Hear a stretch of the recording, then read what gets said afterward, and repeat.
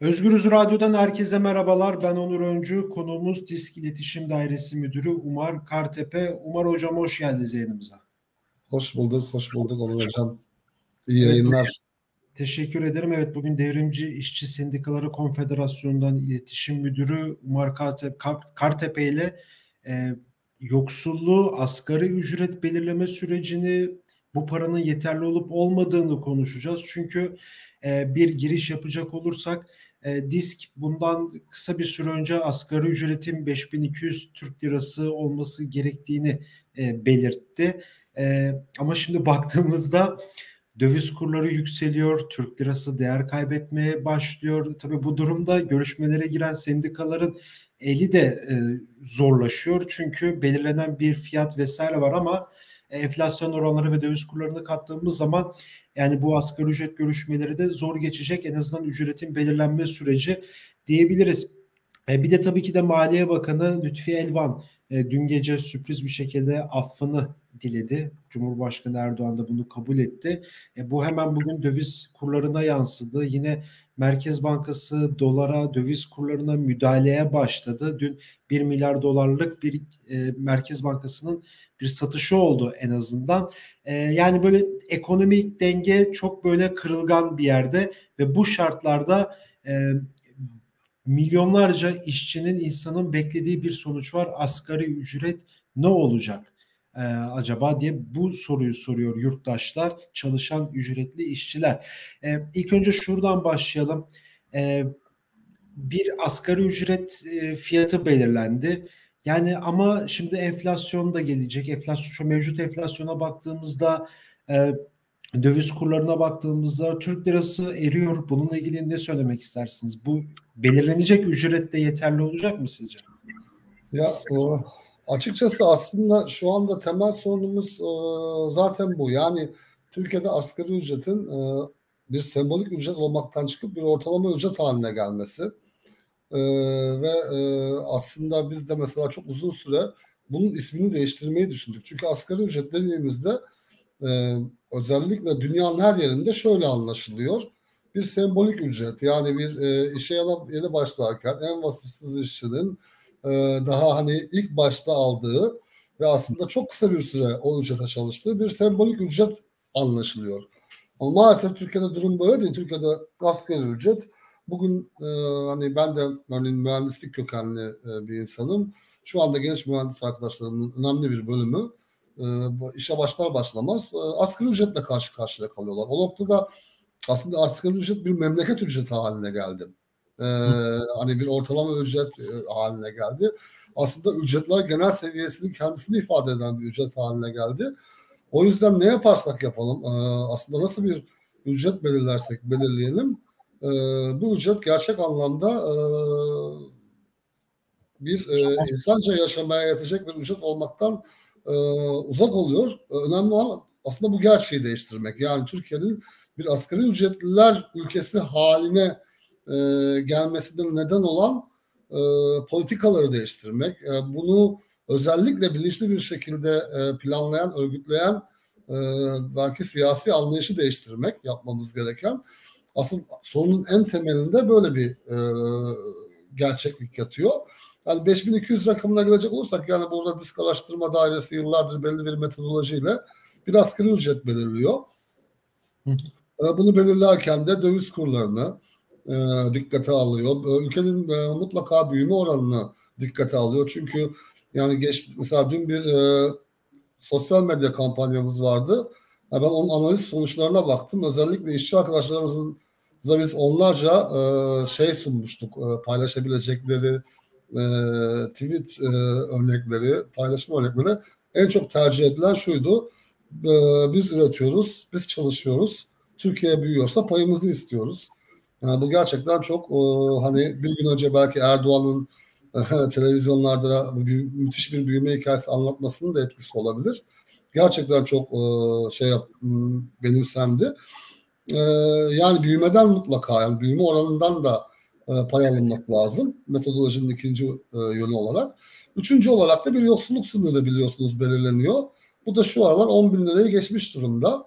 E, bir hanede en az iki kişi çalışması durumunda, bir hanede iki kişi çalışması durumunda o hanenin yoksulluk sınırının aşması e, gerektiği e, en asgari olarak yani bu bir zorunluluk olarak e, belirleniyor ve böylece bir asgari ücret e, rakamı e, ifade edilmiş oluyor. Ama dediğiniz gibi bu asgari ücret rakamı bütün yıl boyunca e, geçerli olması gereken bir rakam değil.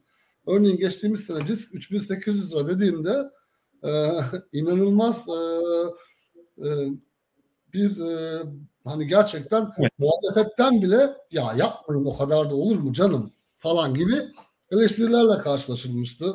Ya 3800 lira hani e, birazcık bu sefer gerçekçilik ülkesinden kopmuş disk vesaire gibi eleştiriler çok yoğun biçimde gelmişti. Herhalde bugün, olacak herhalde. Herhalde bugün bakıldığında e, oldukça gerçekçi bir talep. Hatta e, e, belki de daha da fazlasının e, belirlenmesi gerek gerek e, daha da fazlası söylenebilecek bir talep olduğu ortaya çıktı. Yani aslında bu bir e, metodolojinin de doğrulanması anlamıyla anlamında e, gayet önemli bir veri.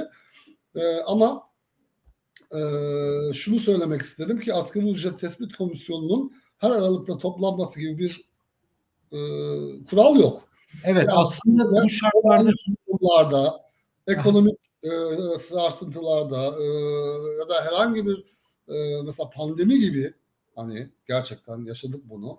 Olağanüstü durumlarda e, rahatlıkla asgari ücret tespit komisyonu toplanıp bu asgari ücreti revize edebilir ve etmelidir zaten. Yani şimdi şöyle bir soru soracağım. Yani şimdi e, mevcut ekonomi programına iktidarın baktığımızda Türk lirasının değer kaybetmesine baktığımızda hani bu Türk lirasının değer kaybetmesinden hani insanlar şey diyor ya biz maaşımızı dolarla almıyoruz. Evet dolarla almıyoruz ama e, kullandığınız araba dolar üstü, euro üstü. Yani dolar yükseldiği zaman ya da döviz kurları diye hepsi toptan yükseldiği zaman biz bunu zam olarak hemen görüyoruz.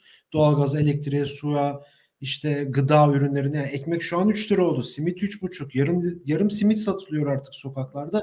Yani ciddi bir yoksulluk, ciddi bir ekonomik buhran yaşıyoruz aslında ki herhalde bu isteyen ekonomistler diyor ki daha biz yolun başındayız. Daha da kötüye gideceğiz. Yani aslında şu an asgari diye belirlenen ücretin 6 da olsa 7 de olsa yine hiçbir şekilde yetmeyeceği sonucuna varıyoruz. Yanlış mı düşünüyorum acaba? Aynen kesinlikle yani şu anda Hani e, ben bazen çok iddialı olarak söylüyorum. Yüzde birlik bir kesimi dışında bırakın. Türkiye'de iyi ücret yok. İyi ücret diye bir ücret yok. Yani e, bu nedenle zaten belki büyük ihtimalle e, belli e, isimler, e, yandaşlar üçer dörder maaş alıyorlar. E, çünkü gerçekten de e, ne kadar ücret alırsanız alın yani e, insancı dediğimiz yani hani basit hayatını sürdürme değil. Yani e, hani İngilizce deyimle survive değil yani. Gerçek anlamda e, insanca yaşamak için e, gerekli bir ücret şu anda Türkiye'de oldukça yani çok az bir kesimin ulaşabildiği bir ücret. Bunun da zaten aslında e, bilinçli bir politika olduğunu herhalde artık herkes anlamıştır. Hani başta, başta güldük, eğlendik yani tüm toplum olarak. Hani liyakatsizlikten bahsettik, başarısızlıktan bahsettik. Ee,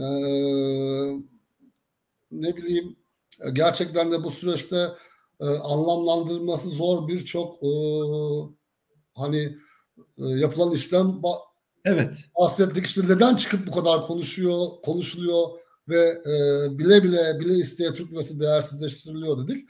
Aslında bunun herhalde bugün bakıldığında hem mevcut yeni atanan e, Maliye Bakanı'nın e, Twitter hesabından yaptığı paylaşımlar hem ülkenin bizzat en üstündeki yöneticisi olan Cumhurbaşkanı'nın yaptığı açıklamalarla aslında gayet bir yanıyla yani ne kadar yürütülmesinde kimi beceriksizlikler vesaire gözlense de bir yanıyla bilinçli bir strateji olduğunu artık anlayabiliyoruz. Şu anda geçtiğimiz seneki raporda Türkiye raporumuzda biz Türkiye'nin Arnavutluğun e, ardından Avrupa'nın en e, düşük asgari ücret olduğunu söylemiştik. Arnavutluk Avrupa'nın ciddi anlamda bir emek cehennemi olarak tanımlanan bir yer. Hani e, bilenler bu alanı e, hani bir çok kötü bir örnek olarak Arnavutluk verilir.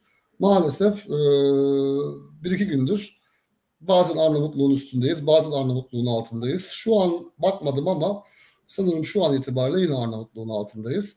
Yani e, bir yandan Çin'in altına düştü Türkiye son 3-4 yılda ücretlerde. E, ama e, aslında bu iyi, bu daha başlangıçmış Çin'in altına düşmek. E, artık Arnavutluğun altına düştük. Türkiye hızla Bangladeş yolunda e, aslında ilerleyen bir ülke durumunda. Aslında bu bu yanıyla Türkiye'deki emek rejimi e, kendi açısından e, kendilerine bir yol çizmiş görünüyorlar ve bir ihracat e, ekonomisi yaratacaklarını söylüyorlar ama bir yanıyla da şu çelişkiyi bir türlü çözemiyorlar. Türkiye ihracatının da önemli bir bölümünü ithalatla yapan bir reeksport ekonomisi. E, bu açıdan e, anlaşıldığı kadarıyla kafalarındaki proje e, hani reeksporta da çok ihtiyaç duyulmayan olabildiğince emek yoğun sektörlere yoğunlaşmış e, ol, olabildiğince e, aslında e, düşük katma değerli ve e, çok yoğun emek sömürüsüne dayalı e, bir e, uluslararası piyasalarda bir yer edinmek istiyorlar. Ve Türk lirasının değersizleştiği her günde hani diyorlar ya dolarla maaş almıyorsunuz. Evet. Evet zaten sorun da bu ya. Dolarla euroyla maaş almıyoruz. Ama dolarla euroyla harcıyoruz bu kadar ithalatçı bir ülkede. Yani bir, bir tür dolar ve euroya endekslenmiş durumda tükettiğimiz birçok şey. Ee, bu açıdan e, önümüzdeki dönem hani ciddi anlamda eğer bu tercih e, Milli Güvenlik Kurulu'nun da altında imza ettiği bu tercih artık bir devlet stratejisi olarak karşımızdaysa e, çok başka bir mücadele dönemine gidiyoruz demek oluyor. Evet son olarak şunu da sorayım böyle yani şimdi e, bu kadar çok işte yoksulluk artıyor işte Arnavutluğun gerisine düştük dediniz yani cidden çok kötü bir durumda yani Türkiye. Yani bilmiyorum gerçekten 10 yıl önce bir tık daha yani 10 yıl önce iyiydi yine. Tamam o da o zaman da çok kötüydü ayrı bir şey de. Ama bu sefer böyle çok derinden hissediliyor. Burada emek örgütlerine, e, siyasi partilere, sendikalara ne gibi görev ve sorumluluklar düşüyor? Nasıl yetkiler düşüyor? Yani bu bataklıktan çıkmak için topyekun bu cephe ne yapmalı? Son olarak da da bunu sorayım size. Evet. E, herhalde şunu söylemek çok abartılı olmaz. E, yani ciddi anlamda bir e, stratejik yönelim olarak duyurulan e, bu e, proje aslında e, bir ülke projesi. Yani bir ülkeyi aslında bir toplumu yeniden inşa projesi. Ve e, bunun karşısında bir kere e, mutlaka direneceğiz, mutlaka karşı çıkacağız, mutlaka mücadele edeceğiz. Ama e, bir e, üst başlığımız olmak zorunda. Bu böylesine bir e, emek cehennemi projesine karşısına biz kendi projemizle çıkmak zorundayız. Yani mesela DISK bunu emeğin Türkiye'si olarak kodluyor. Yani e, hakikaten direnmenin ötesinde geçerek aslında bir kurucu e, başka bir e, bir projenin karşısında başka bir projeyi koymak zorundayız. E, hani bunu oldukça e, ben önemsiyorum. E, yani tek başına e, bu saldırılara tek tek iş yeri iş yeri evet direnmek, meydan meydan direnmek, evet sokak sokak direnmek, evet ama bizim bu projenin karşısında başka bir Türkiye tasavvurumuzun olması gerekiyor. Yani bu bunu bir çatı olarak koymak istiyorum. Bu olmadığı zaman altta her şey eksik kalıyor. Ee, birincisi bu. Ee, ikincisi de e, hani son günlerde gerçekten de ben bunu çok e, samimiyetle e, hissederek söylüyorum. Hani e, gerçekten ciddi bir hareketliliği ve ciddi bir e, kaynamayı e, en azından e, işçiler arasında çok rahatlıkla gözlemleyebiliyorum. E, dün hani bir tesadüfen bir sayayım dedim hani eylemleri. Sadece e, bir 10 gün içerisinde sayabildiğim elbette gözümden kaçmıştır. Doğrudan doğruya hükümetin ekonomi politikalarını geçin, e, protesto eden, geçinmek istiyoruz diyen e, sadece disk üyelerinin katıldığı eylem sayısı e, 30'du. Yani e, bu sokak eylemlerini kastediyorum. İş yeri eylemlerini. 10 yıllık program değil mi? E sadece 10 ekonomi... Şu 10 gün, evet şu 10 günde ki çalkalanmaya dair protesto sayısı sadece e, ben hani işim gereği diski saydım. 30'u evet. geçmiştik yani. Ee, abi, eminim sayamadıklarım, atlamadıklarım, görmediklerim, gözümden kaçanlar mutlaka vardır.